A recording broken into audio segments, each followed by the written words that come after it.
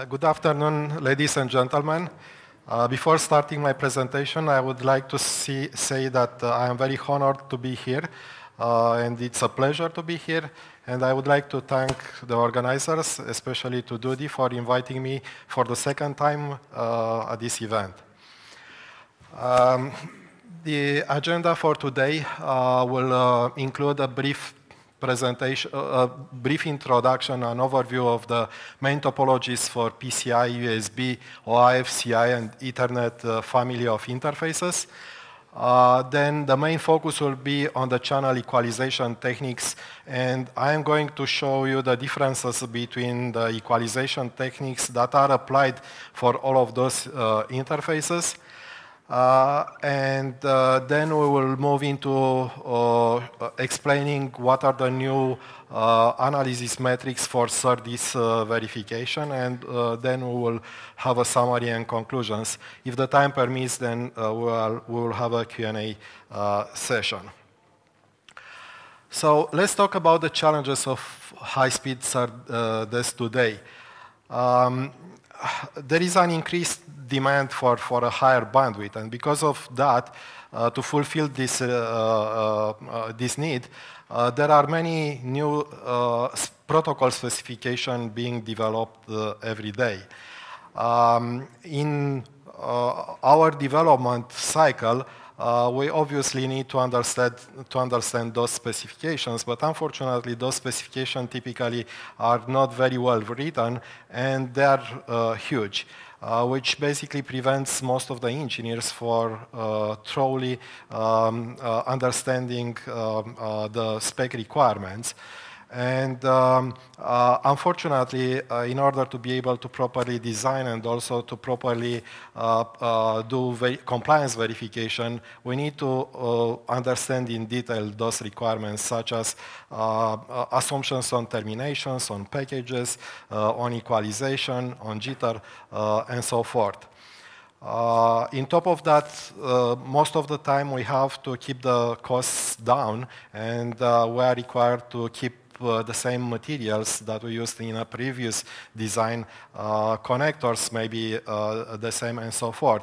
Uh, which um, uh, turns down that uh, the margins are smaller than, than we have had on the designs before, which means that, that we have to, to do more analysis upfront to make sure that the product will still work. so those two things together are putting a lot of pressure on the uh, design uh, engineers. Um, we can see from, from this graph that uh, in 90s, we were able to achieve uh, uh, uh speeds in the order of 10 megabit per second, 100 megabit per second, using interfaces such as USB 1.0, 10 base T, 100 base TX. Uh, then at the beginning uh, of uh, um, 2000s, um, we moved up into 1 to 3 gigabit per second range uh, using interfaces such as uh, PCI 1.0, SATA 1.0, and gigabit uh, Ethernet. by the end of decade, we already were at 10 gigabit per second and 40 gigabit per second, and our days, we are already looking at 50 gigabit per second per lane, and uh, uh, there are standards in development at 112 gigabit per second using PAM4. So this is just to understand uh, uh the complexity that we need to deal with uh, our days. Uh, let's focus on the PCI first. Um, so the evolution of, of this interface started in uh, 2003 when the first uh, uh, revision of the specification uh, was approved. Uh, that was PCIe Gen 1, uh, and the data rates were 2.5 gigatransfers per second. Then in 2007, the next revision of the specification was ratified, and the data rate was 5 gigatransfers per second. Then in 2010, uh, we got PCI Gen 3.0 approved uh, with data rates of 8 uh, gigatransfers per second. Uh, so we can see the trend that each generation is basically doubling the, the, the data rates. Uh, in 2017, uh, the PCI Gen 4 was approved, and that one is running at 16 gigatransfers per second. And uh, uh, now uh, the, the committee, the PCI SIG, is finalizing PCI Gen 5, which is running at 32 gigatransfers per second. And I think that they already started working on, on the sixth generation, but it's really early in the development cycle. Um, what is specific for uh, PCIe compared to, to other interfaces? I think that uh, it's important to understand a little bit the terminology for, for this interface. Uh, typically, a PCI link is established when uh, an upstream component is connected to a downstream component. Uh, an upstream component is a component that is very close to the um, uh, highest level of the hierarchy tree, uh, which is the root complex component. An upstream component has a downstream port that connects to the downstream component, and the downstream component has an upstream port that uh, connects to, to the upstream component. Uh, in terms of uh, link terminology, um, we can say that, that uh, uh, the communication between two different devices is done through, through a link, and the link is made of lanes, and the lane is basically made of uh, one or multiple uh, transmitter and receiver um, um, differential pairs. Um, also, uh, the number of lanes in a, in a link uh, is basically uh, called a link width. And that can be by 1, by 2, by 4, by 8, by 16, and by uh, 32. Uh, what is interesting about the PCI uh, interface is the fact that it's very flexible and versatile, which allows uh, a lot of different topologies to, to, to be implemented. Uh, some of them uh, are chip-to-chip uh, interconnects, and they, those chips can be only on the system board, so there is no connector in between. Uh, or the two chips can be in different PCBs, uh, and there will be connectors. Uh, there are topologies in the server applications that are running over backplanes, and also there are lots of video cards that are using different form factors, add-in cards and express card uh, modules. So this is just to, to say that there is a large variety of topologies that we need to deal uh, with. USB, another popular standard is uh, USB. Uh, um, the first revision of the, of the, of the first specification uh, was approved in 1996, and at that time uh, it defined two different speeds, the low speed and the full speed. Uh, at 1.5, they were those interfaces are, were running at 1.5 and uh, 12 megabit per second, respectively. Then the next uh, uh revision of the specification, USB 2.0, was approved in 2000 and was defining uh, an interface running at 480 megabit per second. Um, finally, in 2008, uh, um, there was a big jump uh, from USB 2.0 to USB 3.0, which was defining a new uh, speed, uh, super speed Gen 1, uh, uh, running at 5 gigabit per second. In 2013, a new revision of the specification was approved. that was USB 3.1. Once the USB 3.1 was approved, then it uh, replaced the USB 3.0. So the super speed gen, uh, the super speed speed of 5 gigabit per second was renamed super speed Gen 1, USB 3.1 Gen 1 and a new uh, super speed uh, was added, uh, which is the 10 gigabit per second super speed named USB 3.1 Gen 2. And recently, um, another revision, USB 3.2, was approved, but there is no major change in terms of, uh, of those uh, speeds. Uh, it is very important in order to understand uh, uh, how USB 3.1 Gen 1 and Gen 2 uh, are operating, it's important to make a comparison between USB 2.0 and the next generation. Uh, so if we are looking at a USB 2.0 cable, for instance, uh, we can see that there is a differential pair of twisted cable, and there are two other wires, one for providing power and the other one for providing the, the, the ground. As opposed to that, uh, USB 3.1 cable contains two differential pairs which are completely in independent for the others, one for transmitting and one for rece receiving uh, Gen 1 or, or Gen 2 uh, signals.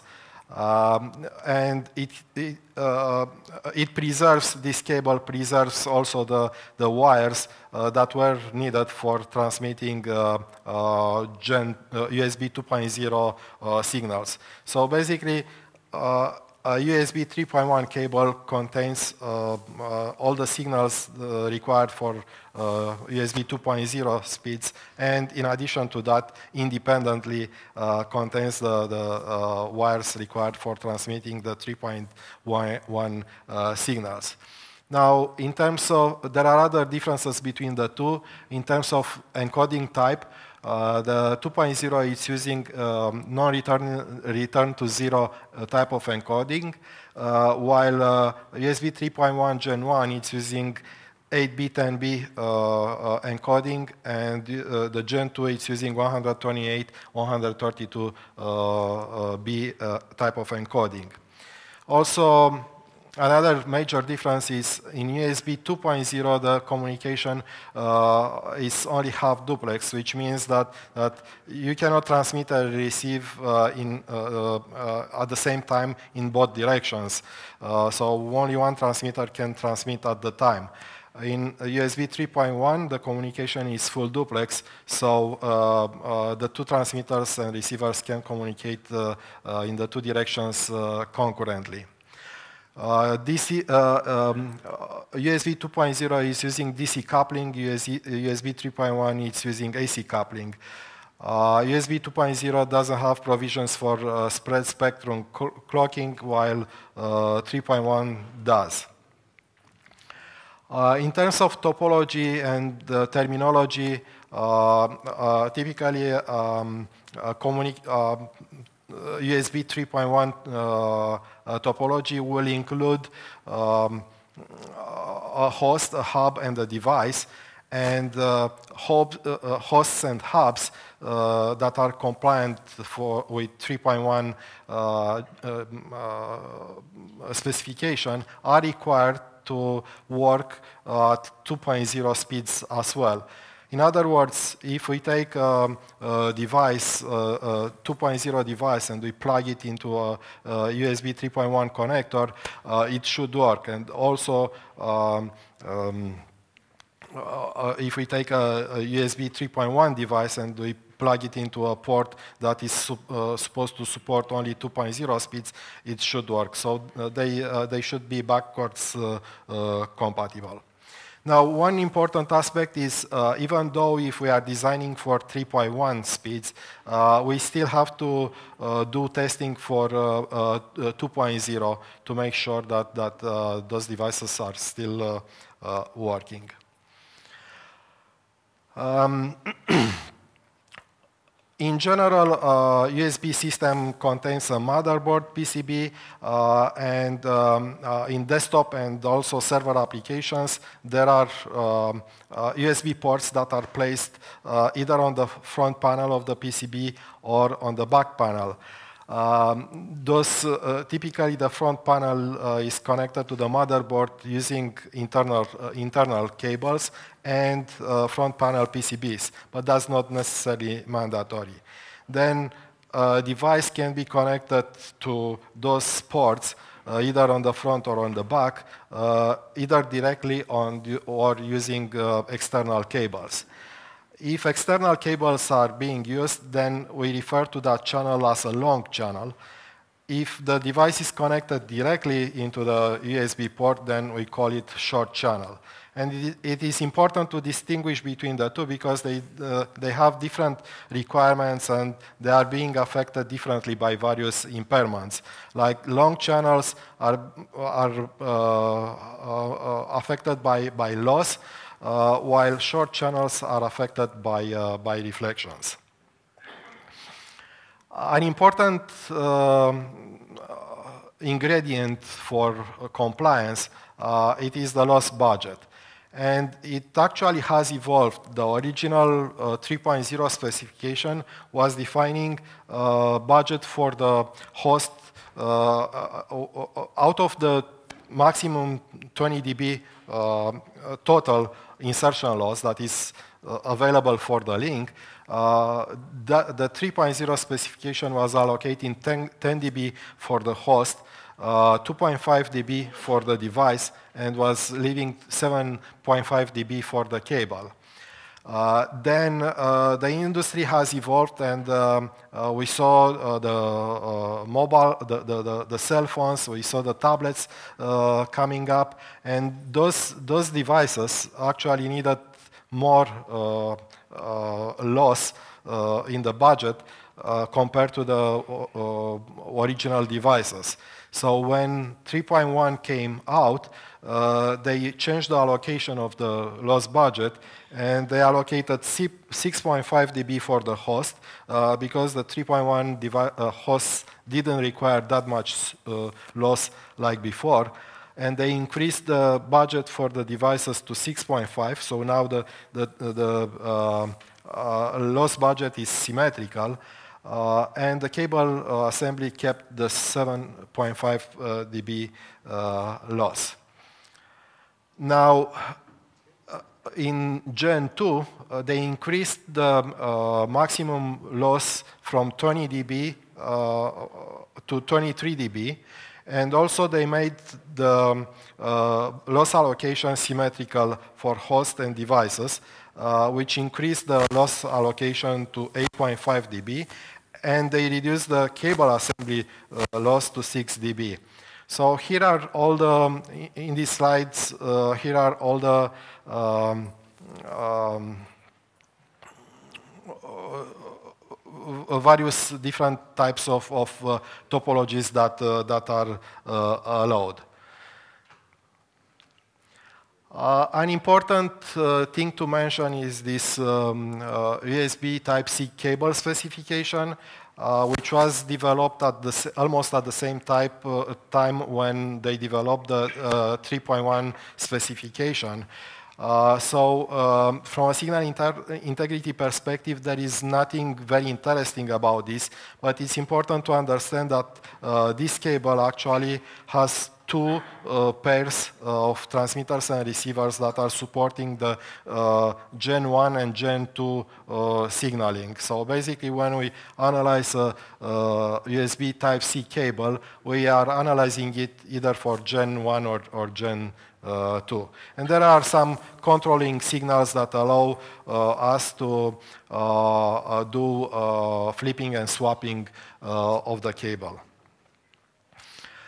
OIF-CEI, um, this is, um, it has evolved from uh, speeds of 2.5, 3 gigabit per second in 2001 uh, to new generations in 2003, 2004 of, of 6 gigabit per second, then 11 gigabit per second.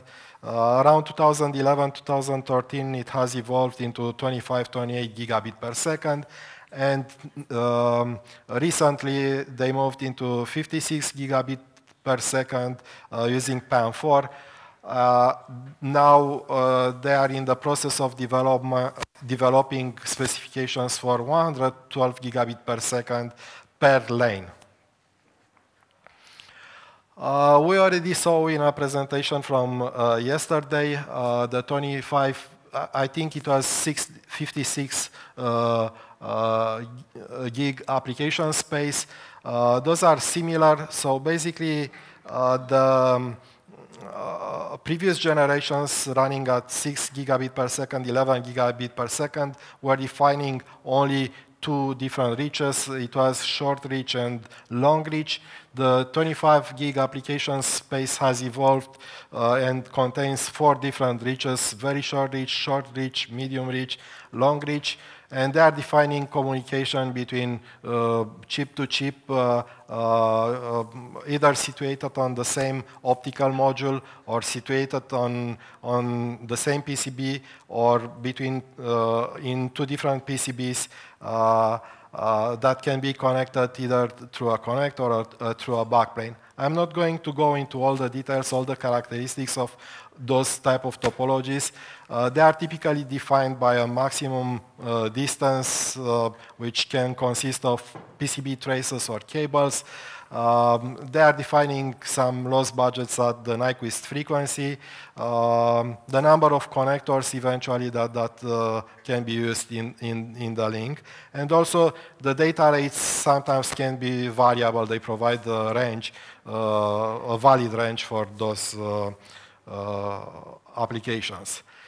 Then the 56 gig application uh, space um, has added another uh, reach. So now we have five different uh, uh, topologies. the 112 gig application space right now contains four, four different topologies. Um, and uh, it's probably important to note that the, uh, at lower speeds, even including 25, 28 gigabit per second, uh, all of those um, interfaces were using uh, NRZ uh, signaling now uh, at 112 gigabit per second, all of them are using uh, PAM4, except the last one, which is using CNRZ, uh, which is basically a communication across uh, six wires.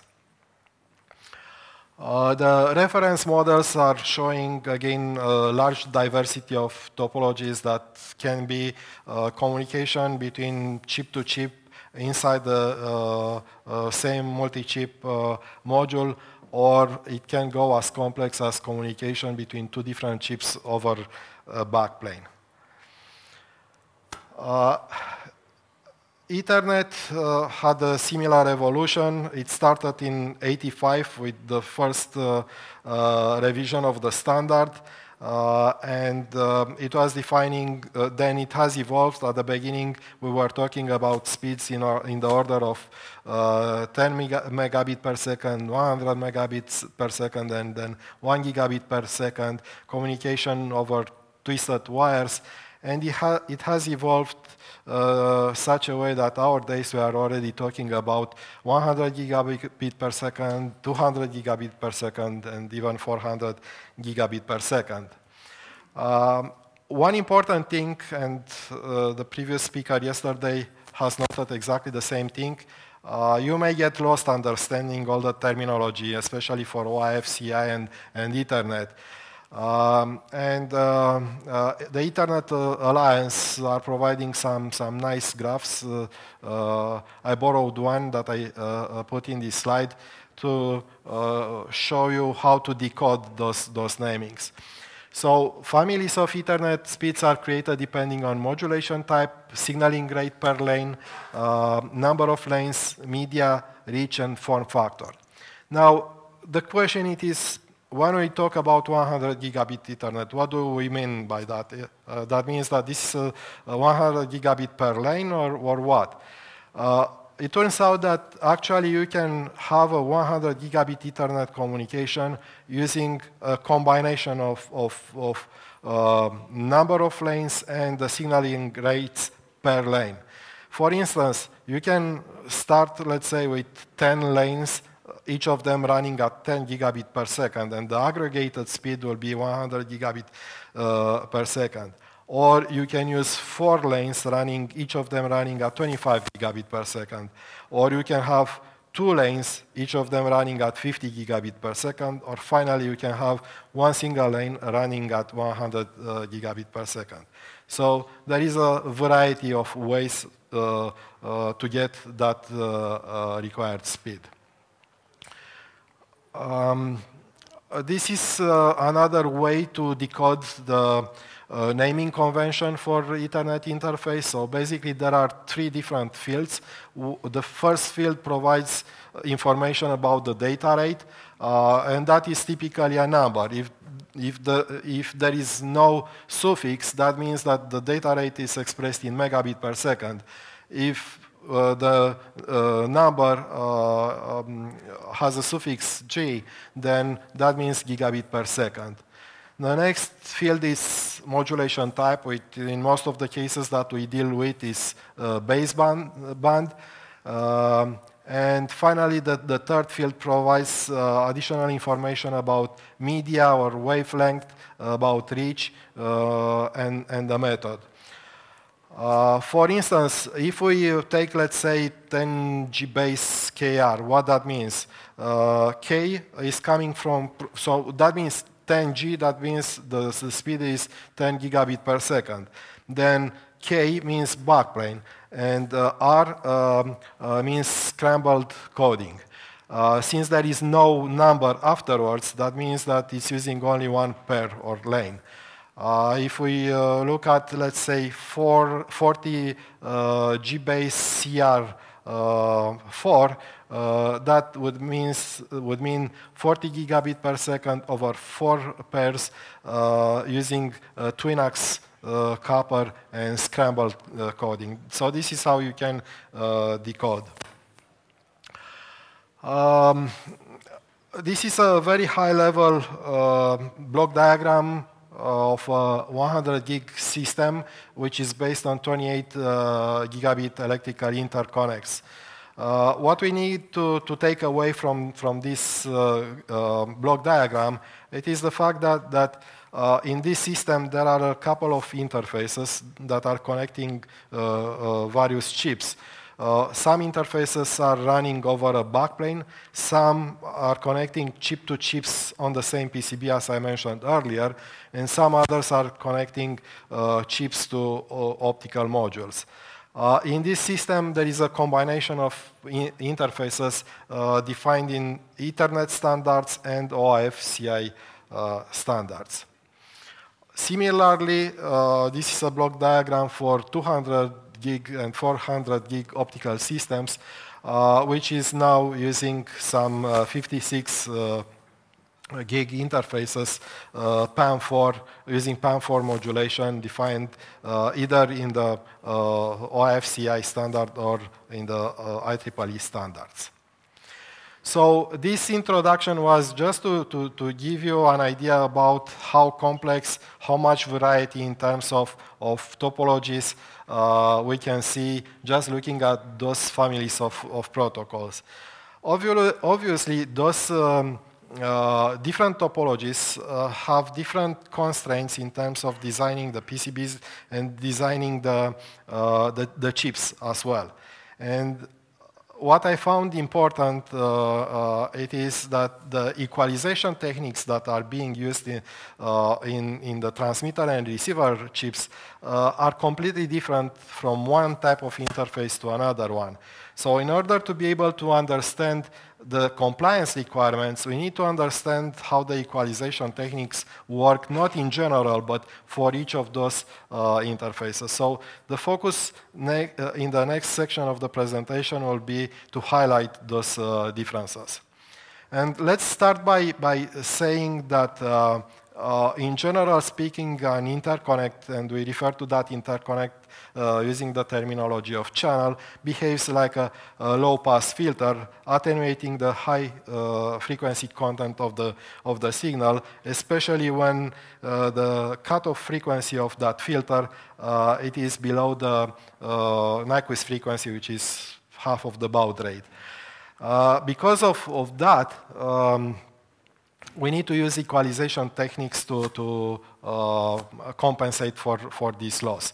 Uh, and this becomes even more important at higher data rates. So we can see here that, that the on the transmitter side, we had a very nice digital uh, signal, which uh, at 25 gigabit per second got attenuated uh, because of the uh, low filtering characteristics of the interconnect, but still the received eye, it's open.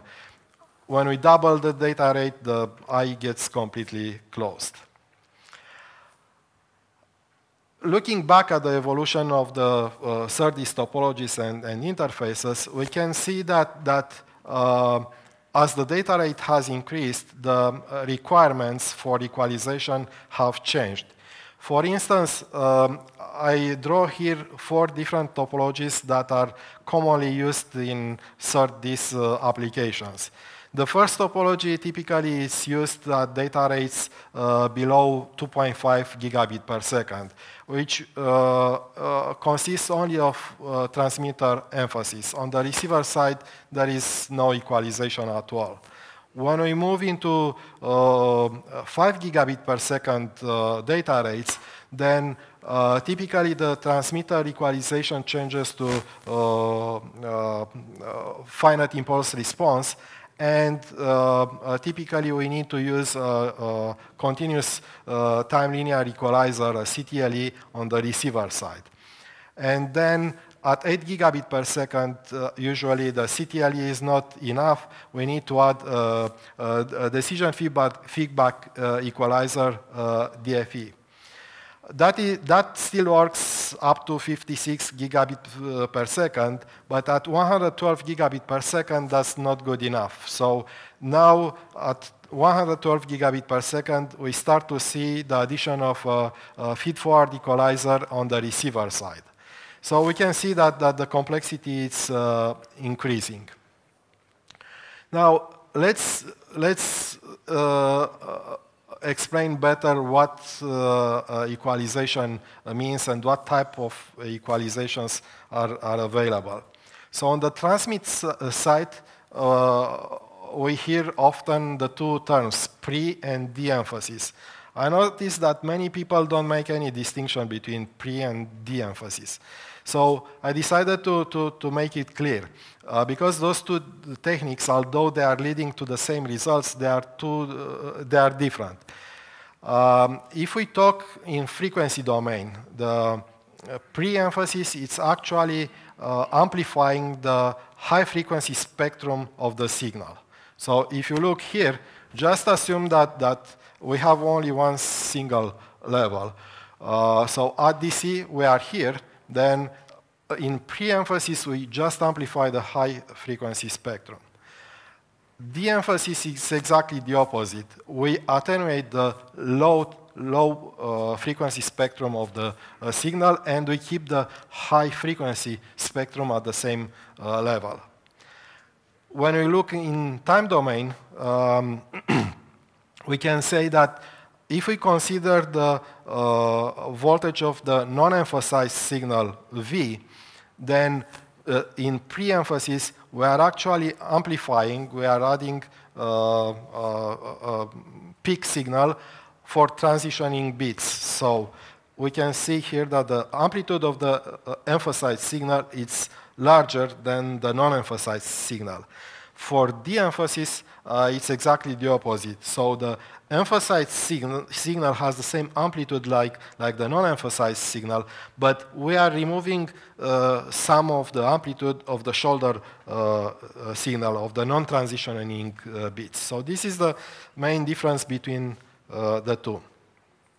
Uh, and probably one other thing that I need to say it is, in terms of frequency domain, in order of this equalization to be effective, it has to compensate the uh, uh, uh, low-pass filtering characteristics of the interconnect, which means that the transfer function of the equalization has to be the uh, inverse of that of the, of the channel. But we will discuss later on about that.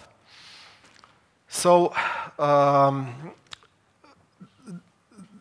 the, one of the problems with, with TX uh, pre-emphasis and, and uh, uh, uh, pre-emphasis or de-emphasis, which we refer to transmitter uh, emphasis, uh, is the fact that this, this peak here is not scalable at a different data rate than the one that was targeted for that particular design. Uh, because um, uh, this applies uh, only for, to transitioning bits. In order to improve that, there is another way to, to uh, do this transmitter, transmitter equalization technique by using um, um, an FIR filter. a general block diagram of a, of a filter, FIR filter, consists of a number of delay elements, the block squares here. Uh, so the signals, the samples of the digital signal are coming in in the uh, first uh, delay element, and then it propagates down through, through those elements. then copies of, delayed copies of the signal are um, uh, being uh, scaled uh, by some coefficients. And that scaling is being done in multipliers that are shown in green color. And then the signals from the output of those multipliers are summed up uh, into uh, another, which is represented uh, in a, a, red cycle. And the signal at the output is basically um, represented by this time domain uh, response. Uh, what is important to, to, to know, it is the fact that um, we refer to those delay elements as the tap filtering coefficients, and uh, they have different names. So um, uh, those that, that are applying to um, that are operating on the advanced uh, signal and have negative indexes, they are called precursor taps. And those that are operating on a delayed uh, uh, copy of the signal are called uh, post-cursor taps. And we can identify also the main cursor uh, tap as well. Um, uh, it, it is important um, uh, to look at um, the shape of uh, differential pulse responses because they contain important information about the channel, uh, about the equalization that was applied, and so forth. So this is kind of similar to looking at a TDR plot uh, and understanding uh, the discontinuities of the, of the uh, interconnect. You can see exactly the same thing in the, in the differential pulse responses.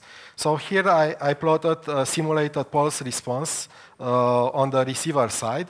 Uh, and we can identify uh, the uh, ISI terms, inter-symbol interference. We can see that there are some positive terms and some negative terms. When we see this type of ringing in the tail of the uh, pulse response, that means that there are uh, significant reflections in the channel uh, we can identify the main cursor here, uh, which is close to the sampling point in this case. Uh, we can identify some post-cursors and uh, post-cursors and precursors. Uh, they are separated by the uh, typically by one unit interval.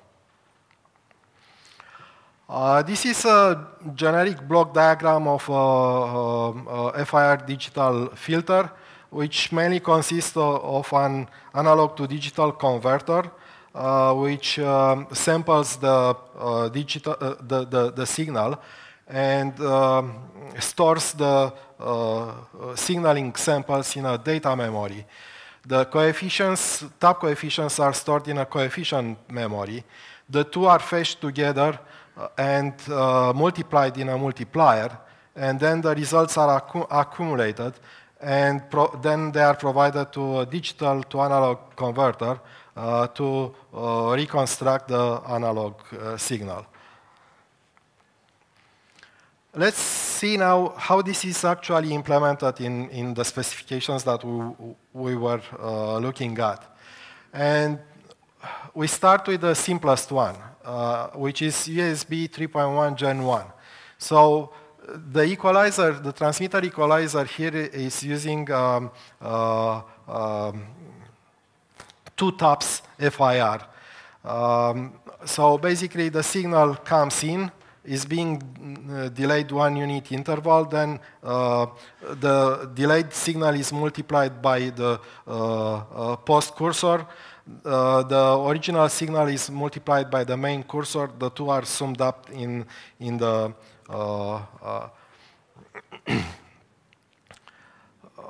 summer.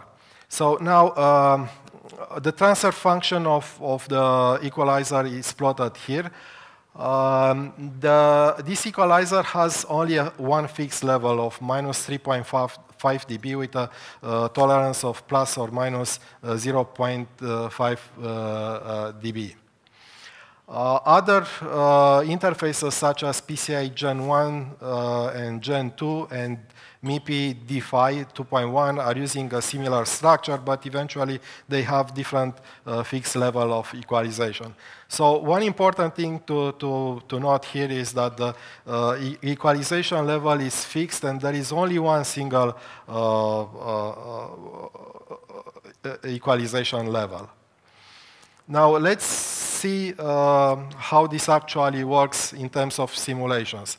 So what we see here is the uh, pulse response. Pulse responses are the output of the transmit. In green color is the non-equalized signal. So we can see a nice pulse, um, which has, in this case, uh, an amplitude of 1 volt. And then the equalized pulse response um, is basically uh, consists of, of uh, superposition of two different pulses.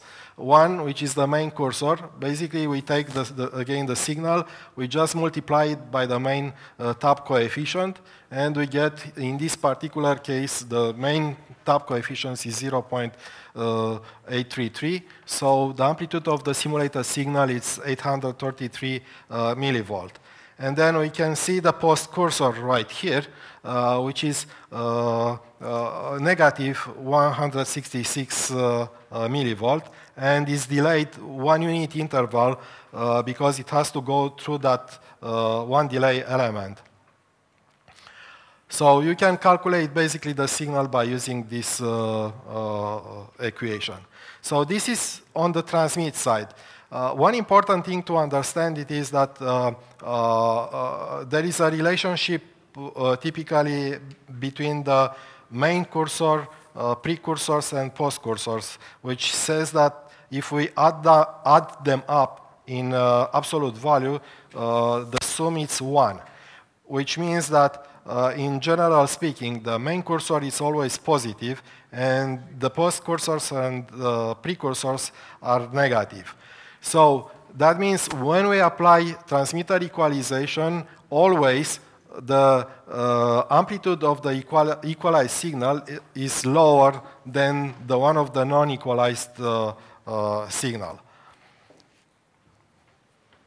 Now, if we are looking, uh, again, this was at the output of the transmitter.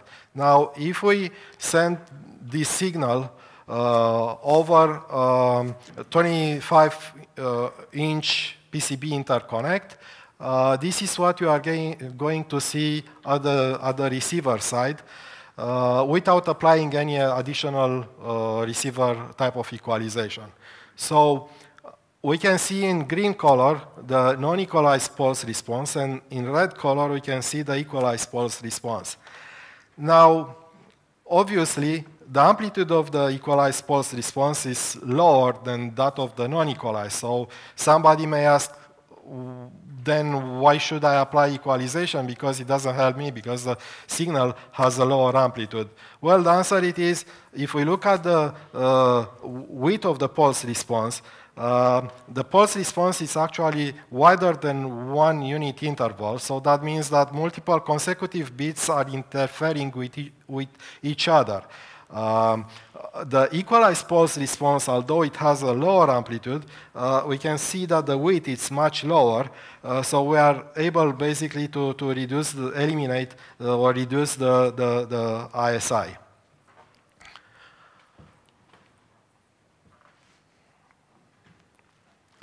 Okay, next, uh, uh, uh, in terms of complexity, the next uh, block diagram uh, that we can look at is um, FIR using three taps. Here is the relationship that I was mentioning before.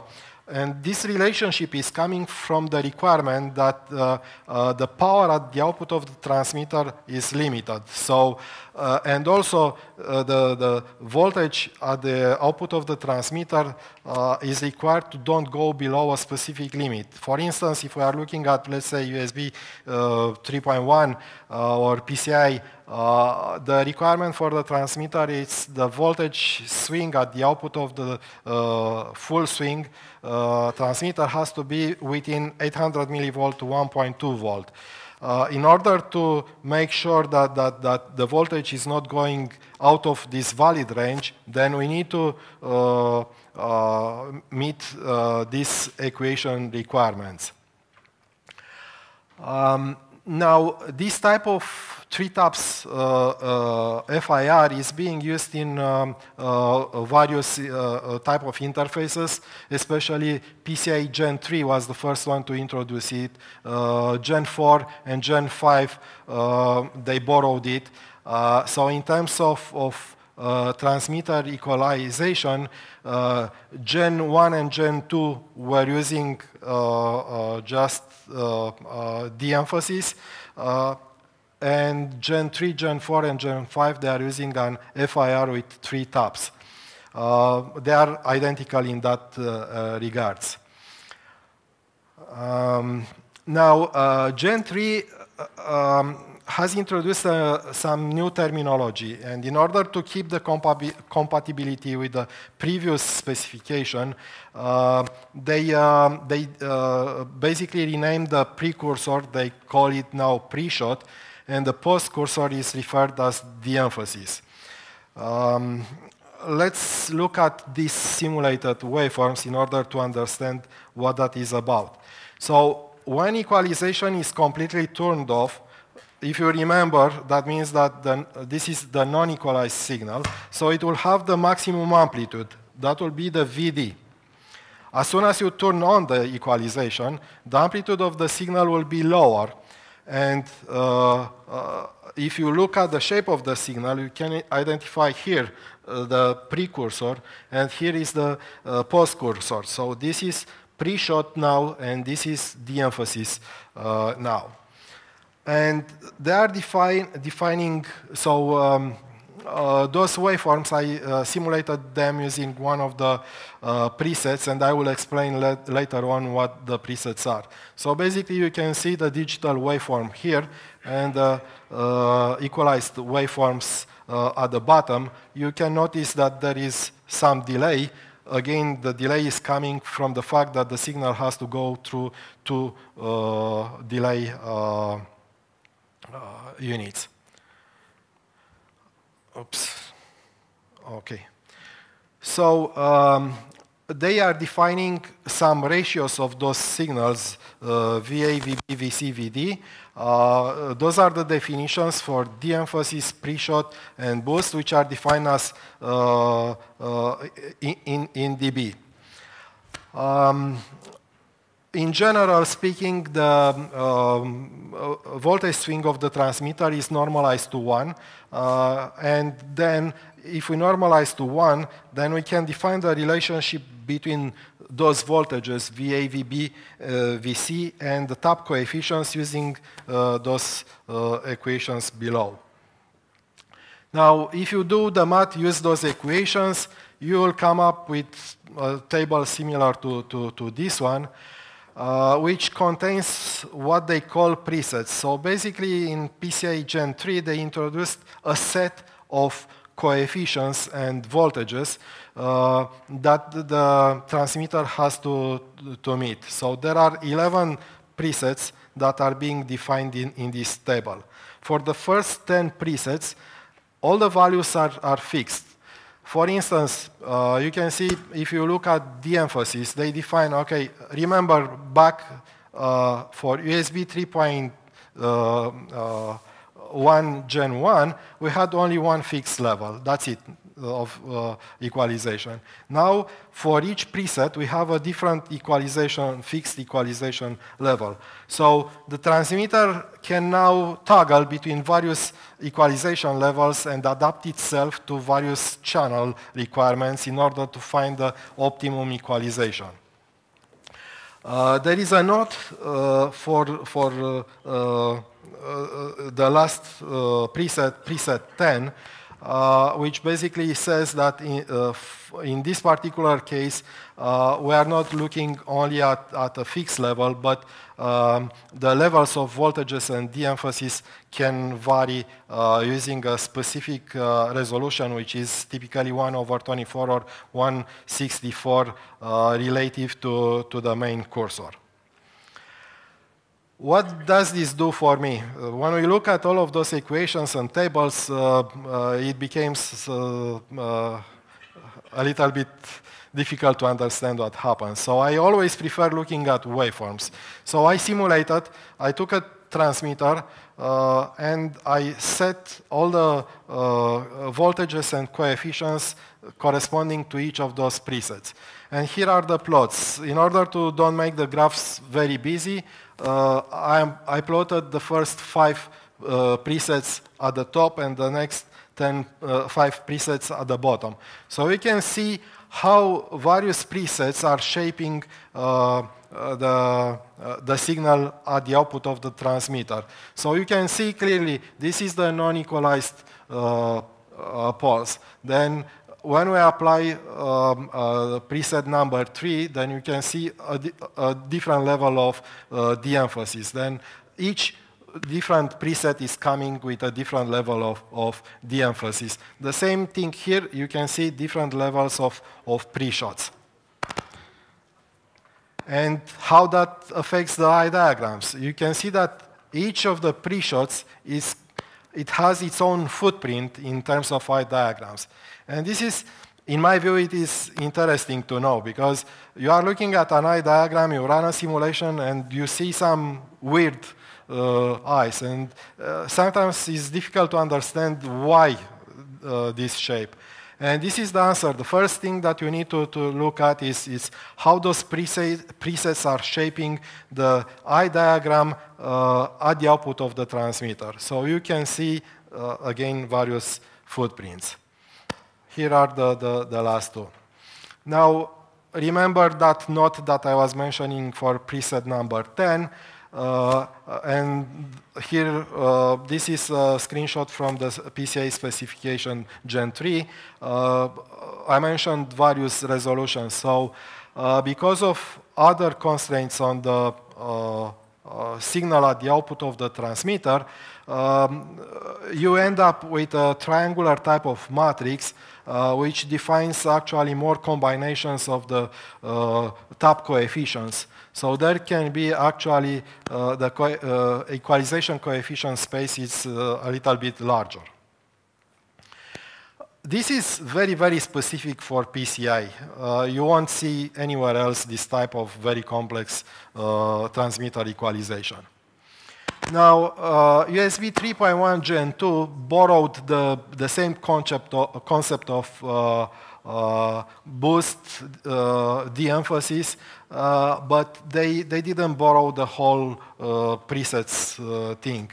They defined only two fixed levels of equalization. One, they, they said well, you know, in practice, there are two different types of channels. Uh, short channel, if you remember the topology, and a long channel. And they, they run experiments, they, then fig they figured out uh, that they need two different levels of equalization depending on the channel. If the channel is short, which means insertion loss below 3.5 dB, uh, then they define a, a level of, of minus 2.5 dB of, of equalization. Uh, then if the channel is long, that means over 3.5 dB, uh, they figured out that 3.3 dB of de-emphasis is, is good enough. So it's a, a simplification compared to PCI Gen 3, 4, and 5. but this is still a 3 taps FIR. So what that does for us, uh, uh, this, this USB 3.1 uh, Gen 2 uh, with two fixed levels, what that does for us. So in order to uh, understand that, I, I took two different channels, uh, very simple channels. By the way, uh, one, uh, I choose it to be a short channel, so it has a 1.6 dB differential insertion loss, and the other one has 5.2 dB uh, differential insertion loss. So you can see that uh, at Nyquist frequency uh, of 5 uh, uh, gigahertz. And then I said, okay, let's, let's apply the, the equalization and see how that works.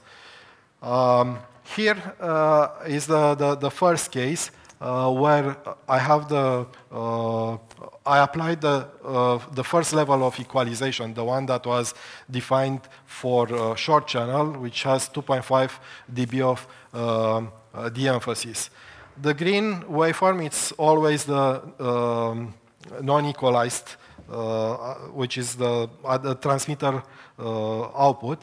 And then for comparison, uh, the, the two emphasized uh, waveforms. And uh, on the side, the, the eye diagrams.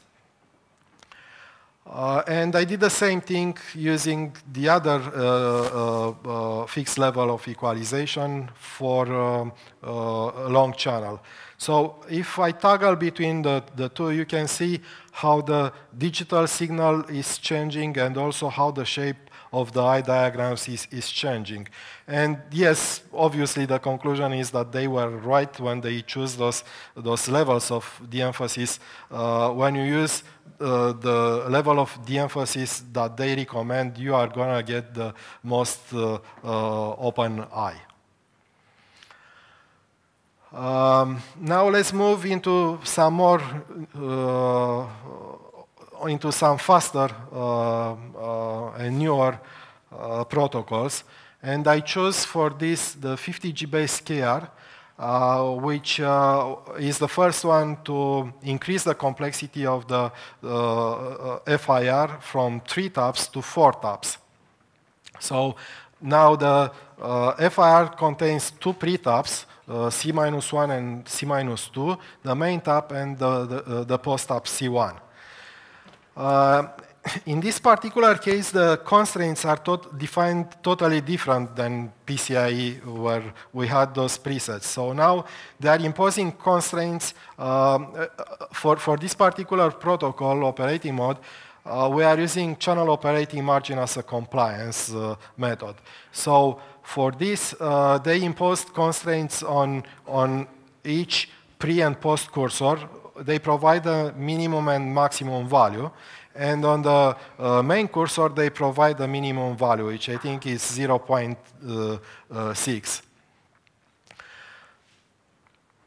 Uh, um, to understand, uh, uh, obviously now having four cursors allows for more combination between the values of the cursors. So now we can reshape the pulse response uh, in a more complex way. And here I am showing the uh, pulse responses at the input of the RX. So this is after the uh, channel uh, that has 16 dB at the Nyquist frequency, frequency of 13 gigahertz. So again, the non-equalized pulse response here in green color, and the equalized pulse responses using various combinations of uh, uh, tap coefficients values. So here I disabled the uh, optimization engine, and I uh, used uh, manually, I, I, I uh, uh, defined the, the, the, tap values because I was curious to, to see uh, how the equalized pulse responses look like. What's interesting to note is that, that the best signal to noise ratio for, for COM is not obtained for the equalized pulse response that has the, the highest amplitude. But for another one, I think it was for the red one, uh, uh, because um, again, the, the, uh, the width of the pulse response is probably the best, and, and it, it generates the best signal to, to, to noise ratio. Um, in HyperLynx, we have uh, an interesting capability. We can generate eye diagrams out of COM. So uh, I took this opportunity to, to generate eye diagrams corresponding for each of those uh, equalization uh, levels on the transmit side. So for each pulse response, uh, I plotted the, the PAM4 eye diagrams. Uh, and you can see that uh, this is the combination that gave me the, not only the, the largest COM value, but also the, the, the largest eye opening. The last one, where the eye is closed, actually intentionally, I violated the requirement, the constraint on the, uh, uh, actually, I think that here is, uh, I made a typo, that should have been C0, uh, which is the main cursor. So the constraint here was main cursor cannot be go below 0.6 volt. Uh, so uh, by violating that constraint, I ended up having a closed eye. Let's move on into uh, receiver equalization. As I mentioned in the beginning of the presentation, at data rates uh, uh, starting at around 5 gigabit per second, transmit equalization is not good enough, so we need to use uh, a receiver equalization. And continuous time linear equalizer is, is a very convenient way to, to, to uh, a, a, very convenient equalization way because it's easy to implement, uh, it's cheap, it doesn't consume a lot of silicon area and power. Um, a generic transfer function that uh, you will see in most of the uh, uh, spe protocol specification looks similar to, to, to this uh, transfer function here, uh, where we have uh, first order type of filter with two poles and one zero. And the k coefficient is um, mm, actually the gain of the filter. So you can see that, that the characteristics of, of the CTLE are those of a, a high-pass filter, where the low frequencies are being attenuated, uh, and uh, an important uh, term to, to uh, consider is the uh, gain at DC, which is, in this particular case, uh, we marked it as ADC. Uh, then the other important factors are the, the, the, location of the zeros and the locations of the, of the two poles.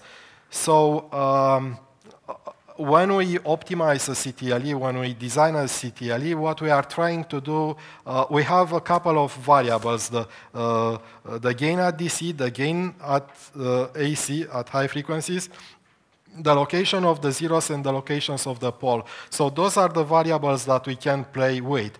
And in general, we have to choose uh, uh, those values such a way, remember, to the characteristic of the CTLE has to be the inverse, uh, the characteristic of the interconnect. And in general, uh, we choose the location of the two poles uh, uh, uh close to the Nyquist frequency. Oops. Okay, so now to, to, understand a little bit how, how that works, uh, I uh, took a channel, one of the channels that I simulated before, and um, I ran some uh, frequency domain simulations, and I plotted on the same graph uh, in green color, you can see the transfer function of the CTLE. Uh, in uh, red color, uh, it is the transfer function of the interconnect, uh, basically the differential insertion loss of the interconnect. And you can see the combined response by uh, multiplying the two transfer functions in frequency domain, and that is the, the blue color uh, uh, uh waveform, which contains the, the, the combined uh, responses. Ideally, in order to compensate for the attenuation of the channel, uh, the blue curve has to be almost a flat line from DC up to the Nyquist frequency of the uh, interconnect. As for transmitter uh, FIR, I said, well, it's interesting to see how CTLE is shaping the differential pulse uh, response. So here, what you see, you see the simulated pulse response. Uh, obviously, this is on the receiver side after I applied uh, CTLE. And um, the uh, non-equalized pulse response is being shown in, in, in red color. The equalized pulse response is shown in, in blue color. In this particular case, I use, uh, if I'm not wrong, I use exactly this uh, transfer function for CTLE. And it's important to note that even at uh, high frequency, I have a minus 2 dB uh, gain, which is a negative gain. That means that the CTLE is attenuating also the high frequencies, but less than it attenuates the low frequency spectrum of the, of the signal. And that explains why why uh, the equalized uh, signal, uh, pulse response has a lower amplitude than the equalized pulse response. Now, again, what is then the benefit of, of CTLE? It is similar to that of the FIR filter. If we look at ISI, so the red uh, waveform here has more ISI than the, the, the, the, blue one. So we were able to reduce the, the width, and also, uh, if we look here, so we were able to reduce the width of the uh, pulse response, and that will generate cleaner uh, eyes. How that applies to a, a PRBS waveform, for instance. So I ran a simulation using the same CTLE transfer function. You can see in blue, uh, in, uh, in green color the digital waveform, uh, and then in red color it is the non-equalized um, waveform. So you can see that uh, I choose for this particular uh, simulation a very lossy long channel, uh, which has a lot of ISI. Because of the ISI, the, the signal uh, becomes very slow uh, and is not able, uh, uh, the edges are not sharp enough. So you can see uh, that the signal uh, is reaching the high level thresholds. Um, it, takes its time to, to, to, reach those thresholds. Now, when we apply the CTLE filtering, the edges are much sharper, uh, so it cleans the, the waveforms. And now, when we look at the eye diagrams, we can see on the left side the unequalized eye diagram, and we can see the effect of the CTLE on the, on the right side. You can see a much cleaner eye with uh, uh, much lower jitter and much uh, low noise. Now, in general speaking, uh, you can define, in theory on paper, you can define a generic transfer function for a CTLE that has an infinite number of poles and, and zeros, and this is the typical transfer function. Uh, now you can have some uh, fixed uh, poles and zeros, and you can have some variable poles and zeros. Uh, from a hardware perspective, um, there are many ways to implement a CTLE in, in, in, hardware. Um, one of the uh, uh most important um, uh, ways to, to, to, do that um, is called the split path. So basically, at a very high level block diagram, you can see that the signal can take two different paths. so one has um, high pass filter characteristics and the variable gain. So we basically uh, amplify the high frequency content, and the other one um, uh, has a low pass filter characteristics, uh, and then we sum them uh, up. And that can be implemented either with discrete components, and here I am showing a typical schematic using a capacitor and a, and a resistor.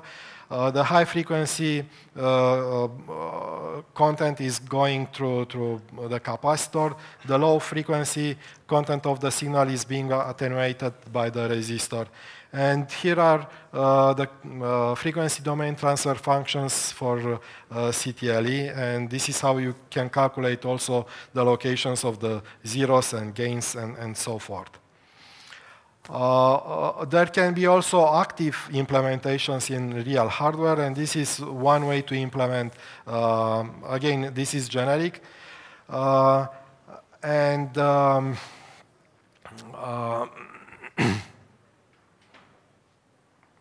yeah. So now looking at various specification, uh, specifications, see how those CTLEs are uh, implemented in, in real life. Uh, well, uh, in general, in, in, in simulators, uh, we are using behavior equalization on both transmitter and receiver. So the behavior CTLE is being implemented using transfer functions. This is how the Gen 1, USB Gen 1 transfer function looks like. And here they are providing a number of independent variables, the DC gain, uh, location of the uh, zero of the poles, uh, and the two poles. And again, are, they, they define two different transfer functions, one for the long channel, the other one for the short channel. Um, here is um, I ran a simulation using the USB 3.1 Gen CTLE, so you can see the, the shapes uh, of the pulse responses uh, uh, uh as they were shaped by the USB Gen 1 uh, CTLE. And here are the eye diagrams. So uh, I'm going to skip very quickly through, through this. I'm running out of time. Uh, just to understand that, that uh, when we move up uh, into higher uh, data rates, uh, the complexity of the CTLE is increasing as we saw for, for the transmitter FIR. So newer CTLEs, for instance, Gen 2, you can see that, that uh, uh, allows for multiple uh, DC gain levels. Uh, basically, they provide a range from 0 to, to, to minus 6 dB in increments of 1 dB. Um, if we move into PCIe Gen 3 and Gen 4, the CTLE is similar, but the uh, transfer function is similar, but the location of the poles and zeros uh, is different. Uh, Gen 5 has increased the, the order of the uh, filter to, to, to 2. It's adding uh, two additional poles and, and one zero. And you can see some, uh, uh, the shape of the CTLE is slightly different than, than it was before.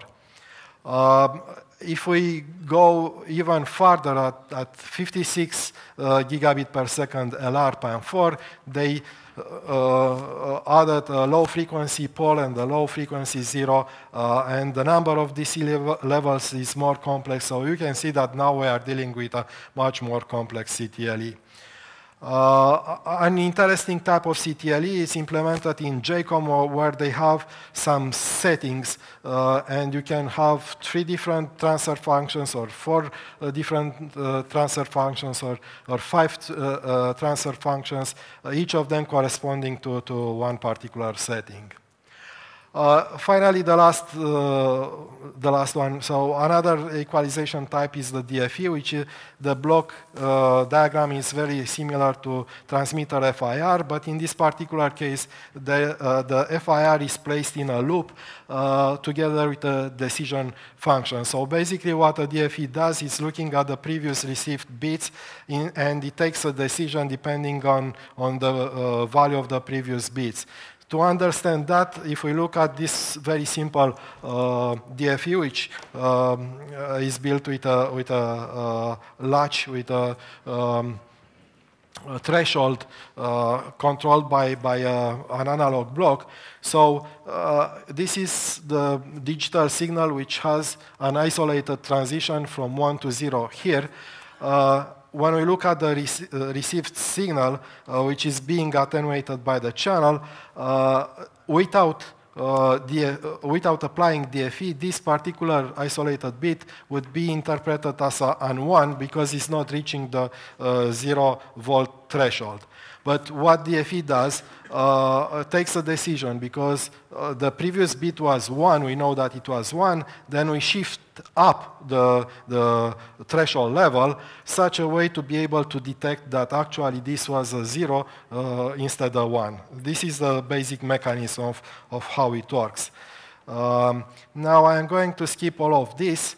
Um, in terms of, of simulated waveforms, um, what happens uh, in a, a, uh, uh, software simulation on a behavior uh, implementation, uh, the way we do it is uh, basically subtracting or adding the feedback signal here to the original signal that was input to, to the DFE.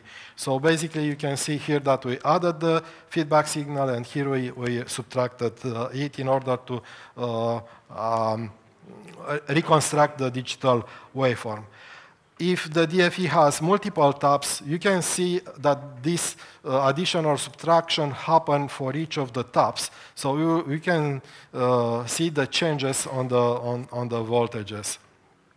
And here is a, a 15 taps uh, DFE, so you can see how the levels were changed. The effect of the DFE on the eye diagrams for various tap numbers, you can see no DFE, the signal is very noisy. The, uh, one tap DFE, it's already cleaning the eye up. Then two taps DFE, you get even a better signal. When you apply 15 taps DFE, you are getting a, a completely clean signal. In the, uh, the signature of the DFE in the pulse response, it's basically uh, being seen here, where for the first uh, uh post cursor, we are completely removing, we are shifting down the, the, the signal, trying to remove completely the, the ISI. Ideally, this red portion, the equalized portion, will go down uh, centered around zero. But in reality, there are some limits on the uh, coefficient taps so, and they are defined, for instance, USB Gen, Gen 2 uh, puts a limit on, on D1. Uh, it has to be between 0 to 50 millivolt, Gen 3 to 30 millivolt. So for that reason, you, you can see that the center of this uh, segment here is not really reaching uh, uh, 0 volt. So the, for the, the first step, it's actually being subtracted always from the pulse response. The, the next um, uh, taps are either subtracted or added depending on, on the shape of the pulse re response, uh, depending on the uh, ISI. Uh, finally, uh, and probably this will be uh, the end of the presentation, as I mentioned earlier, at 112 gigabit per second, now they added FIR filter on the receiver side, which is the structure is very similar to that of the transmitter FIR, but there is a, an analog to digital converter at the input because remember, now we are on the RX side and we are dealing to, with analog signals.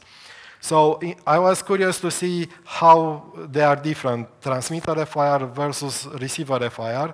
And for that reason, I simulated a channel using the same settings uh, uh, of the two. And that is the plot here. Uh, green color, non-equalized uh, pulse response, red colors overlapping perfectly. Uh, uh so red and blue were actually one for the transmitter uh, FIR, the other one for the receiver FIR. They are perfectly overlapping when I am using the same coefficients for the two that means that, that in theory we would see the, the same behavior. But in reality, remember when we talked about transmitter, uh, there are some constraints because uh, the signal at the output of the transmitter is power limited, so it has to be within specific uh, uh, uh voltage ranges, and that puts constraints on the, on the tap coefficients. Uh, we don't have the same constraint on the receiver side. And because of that, uh, when we do the optimization, actually you will end up with different values for the coefficients, and this is the optimized uh, uh the, uh, response from the, uh, from the tool. So you can see that in this particular case, I got different shapes for, for that. And uh, this will be the, the, the final uh, plot. Uh, this is a very busy plot, so uh, I overlapped uh, signals with various types of equalizations just to, to see how it works. Um, uh, I would add a single note as I said, the equalized pulse response has to have lower amplitude. Here, the two uh, pulse responses have higher amplitude than, than the non-equalized pulse response. Uh, this was a bug into my engineering build that I used. Uh, uh we fixed that, uh, so I don't want to mislead uh, you. Um, I, will, I will end here. various types of equalization have different benefits and cons. Um, the presentation, uh, I put a lot of content in this presentation. It looks like it was too much for, for the allocated time slot. I en encourage everyone to uh, read the presentation on, on your own, and eventually, if you have questions, send me uh, email. So I will reserve, I don't know how much time we have left, but I would reserve a couple of minutes for questions.